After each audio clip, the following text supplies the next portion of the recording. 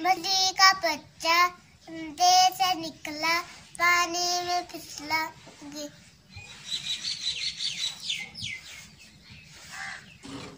अब्बू ने कहा था कि,